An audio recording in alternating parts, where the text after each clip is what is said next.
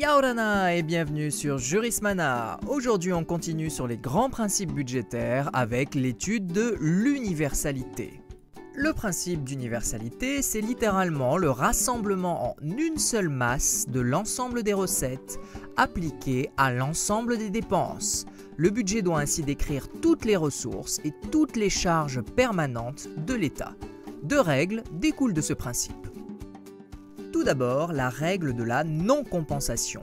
Comme son nom l'indique, cette dernière interdit la compensation des dépenses et des recettes. Ainsi, il n'est pas possible de soustraire certaines dépenses de certaines recettes et de soustraire des recettes de certaines dépenses pour ne présenter que le solde des opérations ainsi compensées.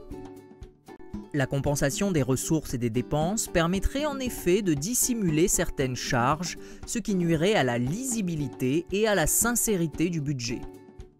Dans l'exemple un peu idiot que j'ai donné, la bière a disparu par magie du budget, car elle a été compensée avec la vente de bonbons.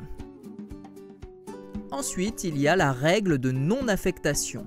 Elle interdit l'affectation d'une recette à une dépense déterminée. Elle implique de verser toutes les recettes dans une caisse unique où l'origine des fonds est indéterminée. Elle permet ainsi à l'autorité budgétaire de conserver son pouvoir de décision et de gérer les fonds publics en respectant les notions de solidarité et d'unité nationale.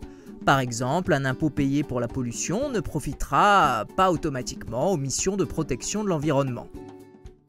Les deux règles précitées, et plus particulièrement la règle de la non-affectation, possèdent toutefois quelques dérogations, comme les fonds de concours, les budgets annexes ou les comptes spéciaux par exemple.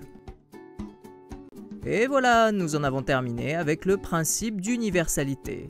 On se retrouve la semaine prochaine pour une nouvelle vidéo. Merci à tous et à très bientôt sur Jurismana. Parheane